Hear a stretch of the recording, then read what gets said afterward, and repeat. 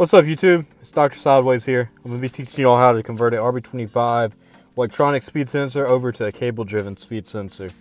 You're typically going to see this on R32 platforms where they utilize a cable driven speed sensor with a stock cluster and you're wanting to switch over to RB25 trans. But not only does it not only just apply to that, it can be applied to whatever platform you want to. More or less what you're doing, you're taking this speed sensor here that we purchased and we're going to be converting it over be able to utilize, be utilized and installed into the RB25 Trans. There's a couple modifications that you need to do. Um, it's going to be swapping the red cog over um, to where the black would be. Also, the retaining clip, you have to machine down a spot for that clip to stick into the side of the sensor. And as you can see here, this is why we're switching the red over to where the black was. Not only is it larger, but it has more teeth. The red one is what actually comes out of the RB25 from the factory. This black one here is actually, we're going to be losing that. We're just going to be utilizing the housing of that sensor. Um, so the first thing that you need to do is go ahead and pop off the circlip here, or the C-clip, whatever you want to call it. Get that off and then your cog will slide right off the shaft as you can see. And what you need to make note of is it's a half crescent moon shape there on the end that keeps the cogwheel from spinning on the end of the sensor. So you're gonna have to ultimately take this new sensor and machine that down on that shaft. Don't worry about it, I'll show you exactly how to do it later on in the video. Um, but the first thing we need to do here with this new speed sensor that we're going to be utilizing the body from is we got to figure out a way to get this black toothed wheel off. Um, you can cut it off, um, but you don't want to scar the shaft too much. So it's very crude, but the best way to, I've found to do it is just melt it off. Uh, believe it or not, the plastic really isn't that strong and it melts right off with relative heat. Um, it does take a little bit of time doing it, but it's nothing that's not you know, doable in your garage. This is actually just a little snap-on butane torch I got. Um, you can utilize just most anything, MAPP gas, whatever. The one thing you want to do is make sure that you don't get it, the shaft too hot. It, it does have bearings and all in there. You don't want to get so hot that it seizes up in there. So ever so often, you know, go ahead and make sure that it still spins freely, um, taking away the heat. But ultimately, your, your goal is to melt that off. Um, be careful while you're doing this. Obviously, don't go grabbing it even with your gloves on. It's going to stick to your gloves and everything. But just continue to melt it off. It should come off with relative ease. If you grab some channel locks or something and try to crack it, I did notice that uh, it would pop off bits and pieces here and there. If this video has helped you so far, go ahead and smash that like button. And if you hadn't already, go ahead and subscribe to my channel. It helps me out greatly. That's my goal right now is to hit a thousand subscribers. That way I can live stream. We got a lot in store for this channel. We got a lot of upcoming videos and a lot of videos that are already in the works uh, that I'm working through editing. I'm soon to be uploading them. But uh, I appreciate everybody for just bearing with me. I've been swamped with so much work here lately that I hadn't had a chance to really get around to uploading. But for everybody that's already subscribed, I sure do appreciate it. And like I said, we got a lot of stuff in store, so just stick around. But getting back to the sensor here. As you can see, most all of the wheels came off so far. Um, you do want to heat it up once you get all the plastic off, continue heating it for just a little bit. What you're gonna do is you're gonna take the paper towel and go ahead and wipe any remaining off of the uh, shaft and it should come off pretty daggum clean. Uh, the oils from the plastics should have already broken the bond between the plastic and the actual metal shaft. So you should have what looks close to like a non-stick surface on, on it if you've done it right. So we're gonna do a little housekeeping here, get our work area cleaned up. I'm go ahead and change out my paper towels on my tray and get back at it.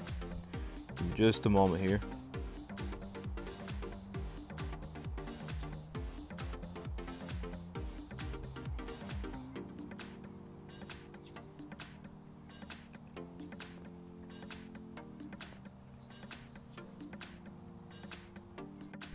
Got some fresh paper towels here. Alright, so basically what we're looking at right here is the shaft has a knurl on the end. It is a complete circle on the end. If you remember back to the RB25 speed sensor that I had taken apart, it has this half crescent moon shape on the end of it. You're gonna have to transfer that notch over to the new sensor and don't get scared yet, it's pretty easy. So there's just gonna be a couple measurements that I'm gonna write on the, the cloth here that's gonna show you exactly how far down you need to machine down or grind down or whatever process you're using. I personally just used a Dremel tool and ground it down. Then I used a hand file to finish up and get that true 90 degree there in the elbow. But you're gonna wanna mic your wheel just to make sure. Do leave a little bit of material in there so that it does fill into the spots of the knurl on the new sensor shaft. Uh, you don't want it setting in there loose because that's going to defeat the entire purpose. Um, you're not going to be running the C-clip on this setup. You're going to basically do it, doing what had came off of the wheel. You're going to be heating up the shaft and you're going to be pressing this red one on. But only after you've machined down this crescent moon onto the new shaft. So the two measurements that you're going to end up with is 13 millimeters. That's going to be from the face of the shaft down. That's going to be the distance in which you need to grind down that crescent moon. This is taken in account for the amount of the shaft that protruded on the last sensor a couple millimeters in which that C-clip clipped onto the end of it as the shaft had passed through the red toothed wheel. So with you no longer running that C-clip and using a press fit or a heated press fit, the two measurements that you need is 13 millimeters and 2 millimeters. 13 millimeters is from the tip of the shaft down. So at the very leading edge of the shaft, you're to measure 13 millimeters back. And that's going to be the distance, how far down you're to have to grind down. The 2 millimeters is the depth into the shaft in which you're going to go. So it's 2 millimeters from the, the surface down towards the center line of the shaft, if that makes sense. So basically you have a two millimeter high notch in that guy. I'm um, just using a Dremel tool here, as you can see, just grinding it down some. You know, if, if you're paranoid, go ahead and keep taking some measurements as you work just to make sure that you're good. You do want it to be a true 90 degrees. You don't want to have any taper to that surface that you're putting onto it now. It's going to defeat the, the purpose of having that notch there if you do have any taper or if it's truly not 90 degrees.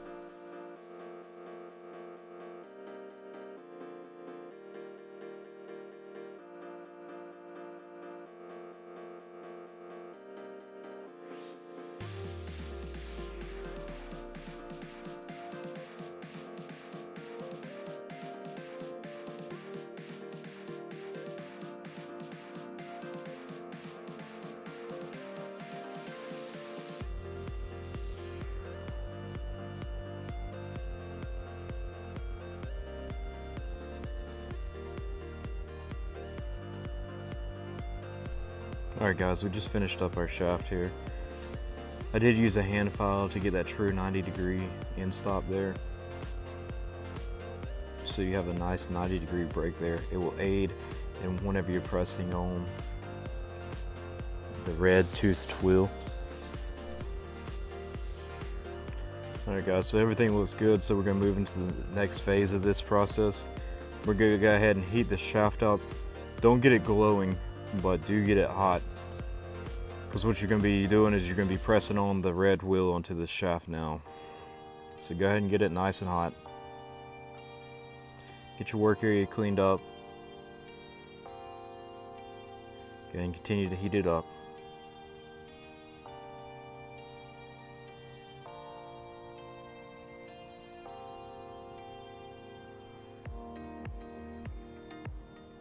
If you made it this far through this video, go ahead and smash that like button.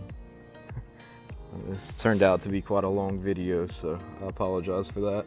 I did want to be pretty thorough with it though, because there seems to not be very much information out there on the internet for doing this, so I figured why not.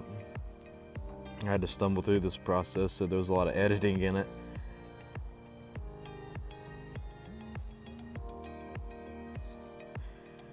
You're gonna start seeing this shaft turn close to like a neochrome or like a burnt titanium look. That's whenever you know you've got it hot enough. Just don't forget that there are bearings in that shaft there, or that the shaft rides on inside of this houses, so be careful whenever you're getting it that hot. But you want it hot enough that you can slide this on. As you can see, go ahead and slide that new wheel on. You're gonna slide it all the way up to the point in which the the end of the cog here, the red cog, you want it flush with the end of the shaft. That's whenever you know that you went far enough. And there it is, boys. Your new speed sensor.